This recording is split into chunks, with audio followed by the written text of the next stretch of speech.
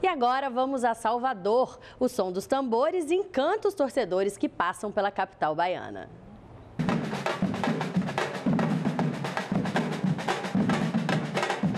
O que é que a Bahia tem? Pergunte aos baianos. É um povo animado, agitado, que gosta de festa. Ah, é o povo daqui que, que é muito alegre, a energia deles que é contagiante. Ou se quiser saber a opinião dos visitantes. It's wonderful. Oh, it's beautiful. Primeira capital do Brasil, Salvador é uma grande mistura de raças, culturas e belas paisagens. O centro histórico da cidade e as ladeiras do Pelourinho são atrações à parte e impressionam os visitantes. I like all the, uh, I guess, all the colors and the attractions of the of the buildings uh, in this uh, in this historical district. Uma atração que chama a atenção é a capoeira, por exemplo. Mistura de arte marcial, dança e luta, a capoeira é uma expressão típica do Brasil, muito difundida na Bahia.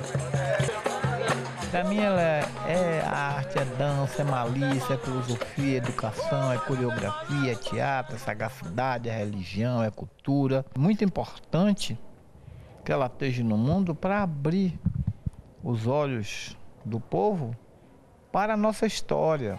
No calendário baiano, dia 2 de julho é especial.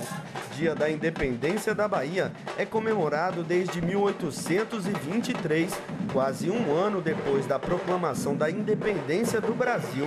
O cortejo homenageia a vitória das forças brasileiras sobre as tropas portuguesas na Bahia, um dos últimos focos de resistência dos europeus depois da proclamação da independência do Brasil mas durante a Copa do Mundo, Salvador tem uma programação cultural agitada, como o projeto Grande Dança Brasil, uma iniciativa do Ministério da Cultura em formato de flash mob, termo em inglês que significa algo como mobilização relâmpago.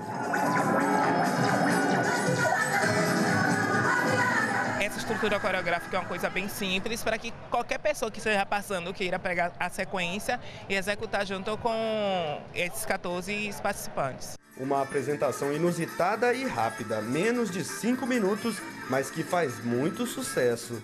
Flash Mob é a primeira vez que eu participo, os colegas também, e vai ficar documentado, vamos ficar para a história, né? E com um grande coreógrafo que é Carinho de Jesus. E estamos felizes, sim, por participar da primeira vez de um Flash Mob em Salvador, né?